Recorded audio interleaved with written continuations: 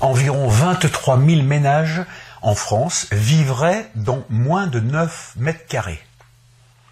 Et ces gens-là se plaignent, alors que ce sont des privilégiés. Bah, il y a des avantages quand même à vivre dans si petit. Par exemple, euh, tu cherches quelque chose chez toi. Bon, bah, obligatoirement, c'est là. Au niveau chauffage, chauffer à peine 9 mètres carrés, euh, c'est du pipi de chat. C'est un avantage, bande de privilégiés. Euh, Ça coûte rien du tout. Hein? Il est où mon lit? Voilà. Je suis debout dessus. Pourquoi?